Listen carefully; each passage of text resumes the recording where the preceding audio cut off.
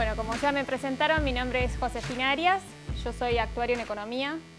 Eh, hace cinco años que doy, cinco casi seis, que doy la materia bases actuariales de las inversiones y financiaciones en la UBA. Y bueno, la verdad trabajo en reaseguros, pero también estoy metida bastante en las inversiones de la compañía reaseguradora. Bueno, ¿empezamos? El título de la presentación es bastante claro, vamos a tratar de entender más o menos cómo son las opciones que hoy en día tenemos en el mercado. Empieza la primera aclaración. Voy a tratar el mercado argentino. ¿Por qué elijo el mercado argentino? Porque nosotros tenemos más información acerca del mismo.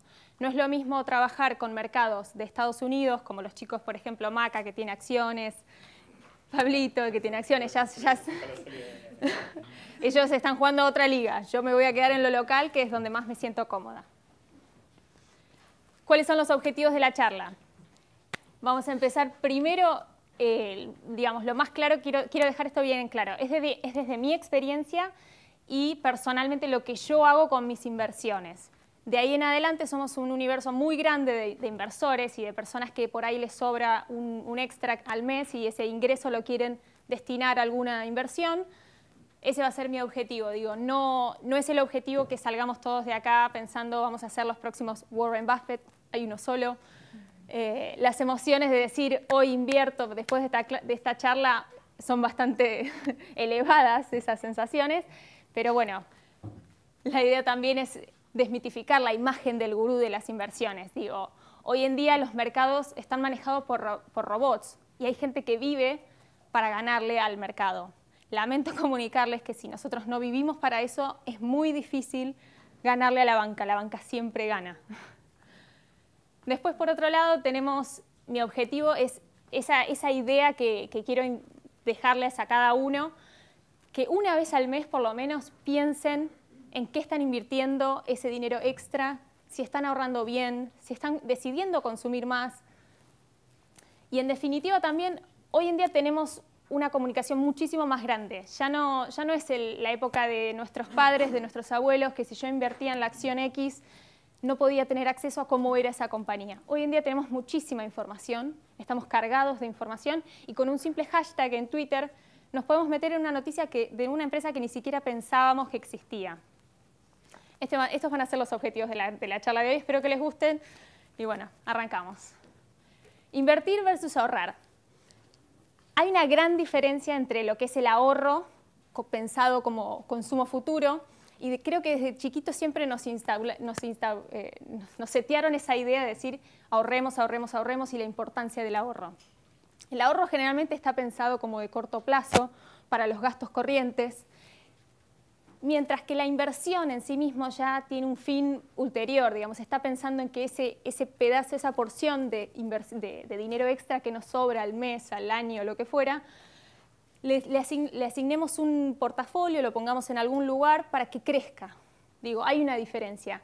Pero la idea es que hábitos de consumo saludables, hábitos de ahorro saludables, nos lleven a inversiones mejores.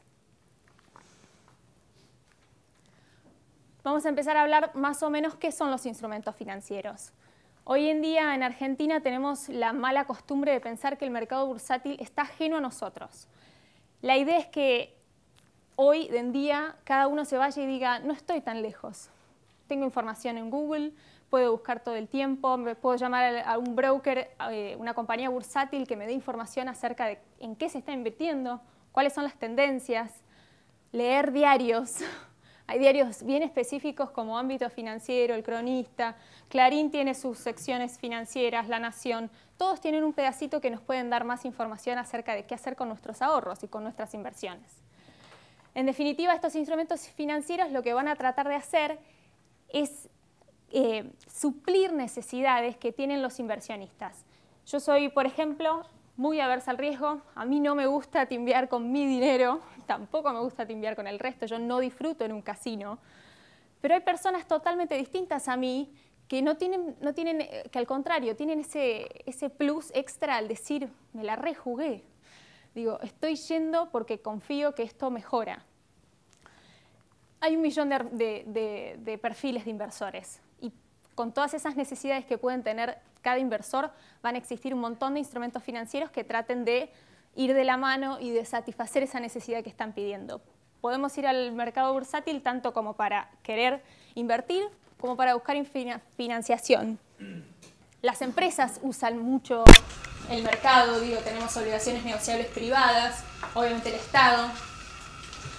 Y bueno, en definitiva, para poder invertir en instrumentos financieros lo que vamos a tener que hacer es, bueno, por un lado pensar en la opción de invertir con un banco a través de nuestra cuenta, ellos ofrecen la opción, y por otro lado podemos pensar en ir a compañías bursátiles.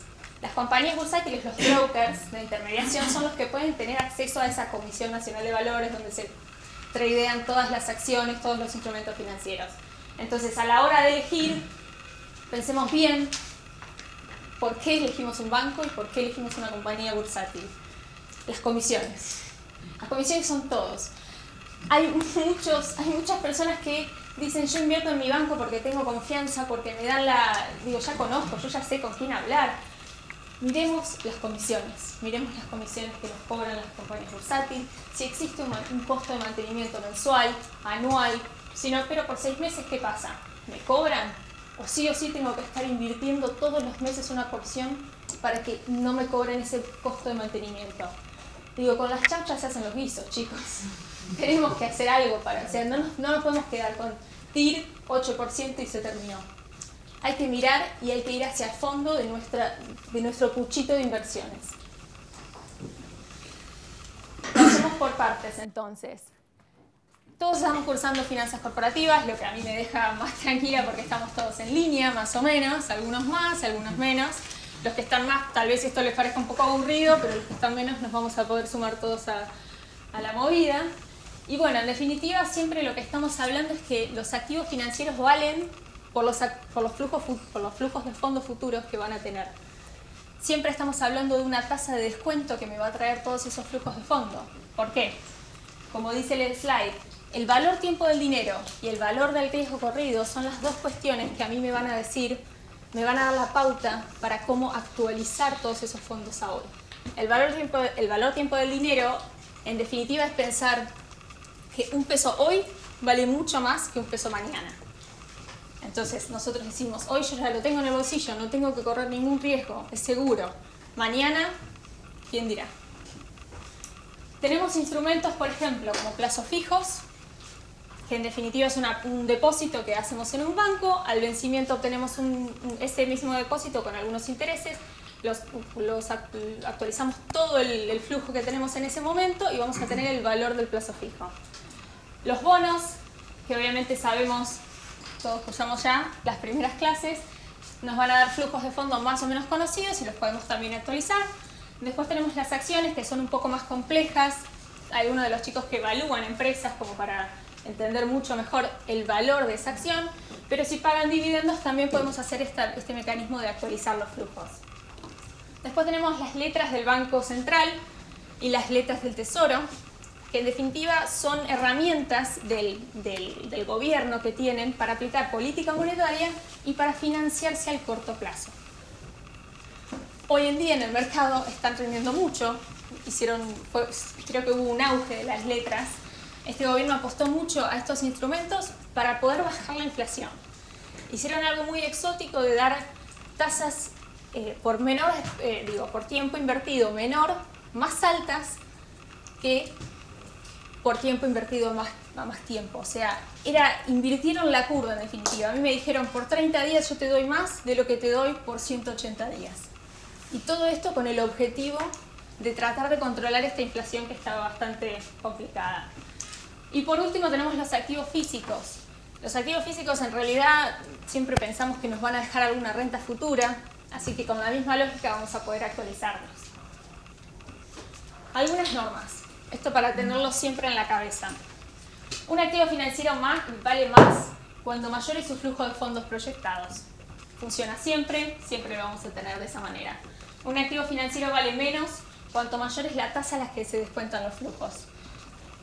Lo que cambia el precio de un activo, siempre tengan en la cabeza, son las expectativas del mercado. Si el mercado está a la baja, van a cambiar los precios de esos activos. Y a mayor liquidez de estos instrumentos, liquidez entendida como en cuánto tiempo puede hacer plata esa inversión, cuántos mercados eh, existen para que me quieran comprar lo que yo invertí, menor voy a, voy a tener un rendimiento menor por lo pronto. Y por último, lo que venimos viendo hasta el momento de finanzas corporativas, a mayor riesgo, mayor rendimiento exigido, viceversa, siempre van de la mano. ¿Hasta acá venimos bien? Impecable. Gracias. Ahora nos metemos un poquito en el riesgo de un portafolio.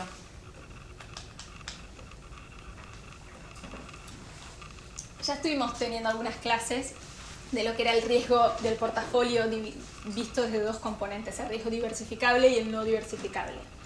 Lo que tratamos de entender es que el diversificable nos va a permitir pensar en el riesgo específico del activo que yo estoy invirtiendo. Por ejemplo, si yo estoy invirtiendo en acciones de IPF y el precio del, petróleo varía, me va a afectar específicamente al tener una acción de IPF. Si yo tuviera una acción de Galicia, tal vez no me afecta de la misma manera. Entonces, ese riesgo lo puedo diversificar haciendo de mi portafolio, comprando más acciones de industrias distintas y agregándolas en mi portafolio. Por otro lado, tenemos el riesgo no diversificable, que, habla de lo que es el mercado en general. Si a Estados Unidos le fue mal con la, crisis de la con la crisis de las hipotecas subprime, todo el mercado iba a la baja. Ese riesgo es imposible de diversificar lo tenemos y es sistémico y es perteneciente al mercado. Ahí tenemos un pequeño gráfico de lo que es el riesgo del portafolio, sigma, letra Y, relacionado con la cantidad de activos. Esa es la idea que yo quiero que, todos nos vayamos hoy. A mayor cantidad de activos en mi portafolio, yo voy a lograr que ese riesgo se vaya diversificando y lo voy achicando con las ventajas de la diversificación. No pongamos todos los huevos en la misma canasta, es básico. Tratemos de no estar invertidos solos en un sector. Santi Chaín, me parece que vos tenías solo en Pampa. Vamos a trabajar ahí. Me parece que...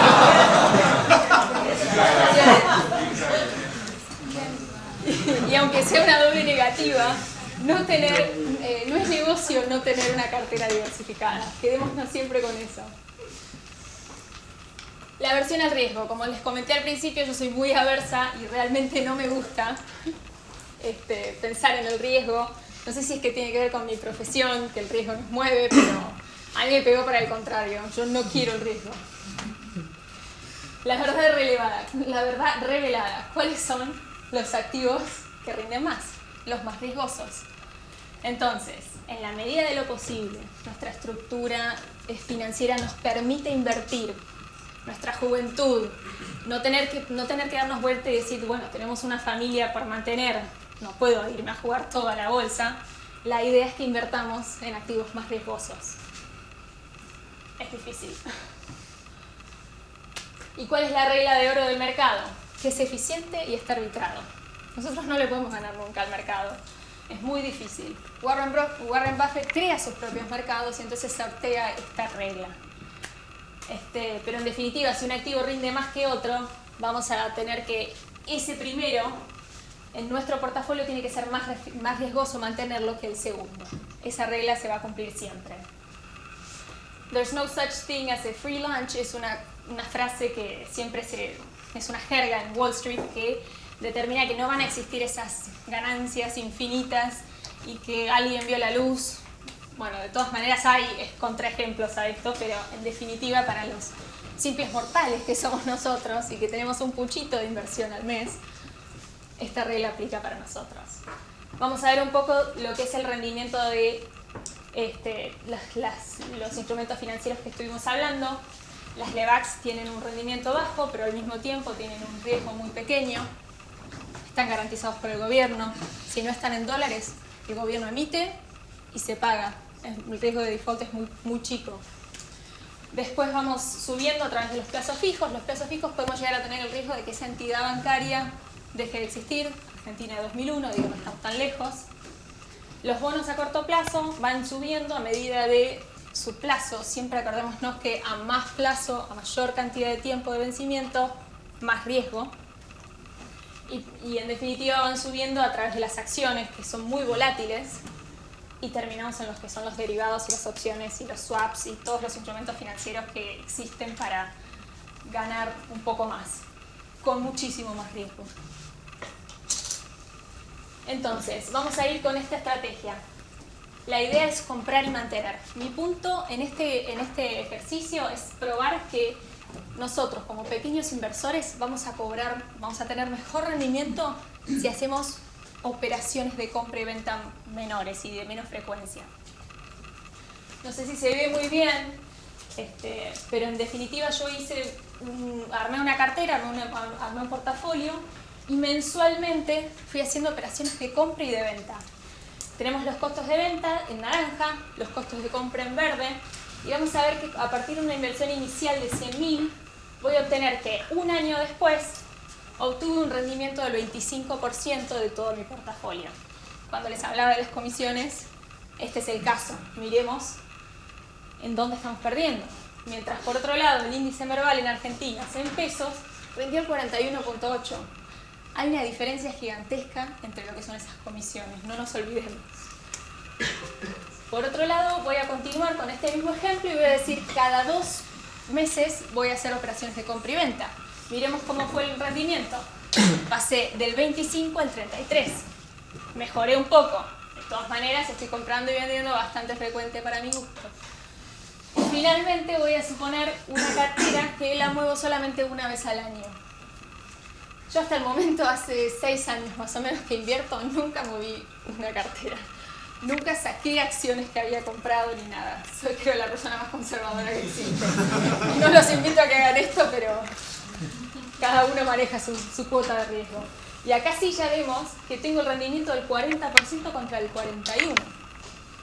Y todo esto con el supuesto de que las comisiones que me cobraron eran del 0,5% sobre las operaciones que hice. El, común de mercado está a 1%, o sea que estoy siendo buena con este ejemplo. Por otra parte, analicé dos, tres portafolios. Analicé su volatilidad, o sea, su riesgo, y su plazo. Y, su plazo. En este caso, mi, mi primer portafolio es de riesgo y plazo reducido. Combino 30% de Levax y letras del Tesoro.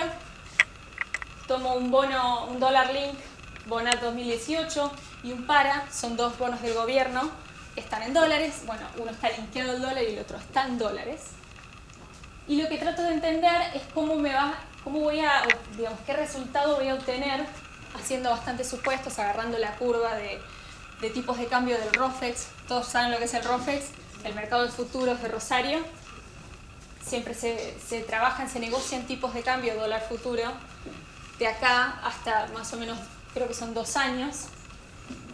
Proyecté y obtuve que con esta cartera un rendimiento anualizado en pesos de 29,8.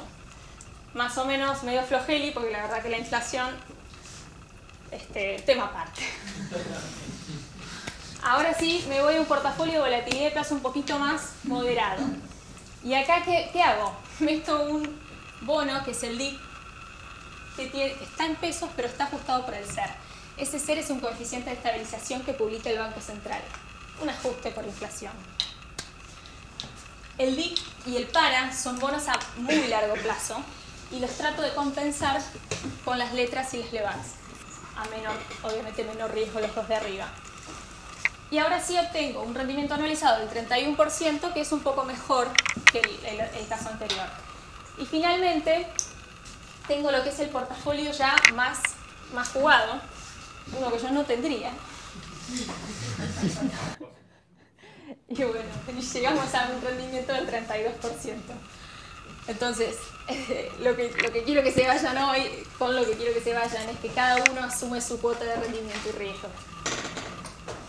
Ah, perdón, me quedó la aclaración que luego de haber analizado todos estos tres portafolios y haberlos estimado a futuro, vamos a ver qué pasó. A priori supuse que iba a rendir esto y a posteriori pudo haber rendido otra cosa.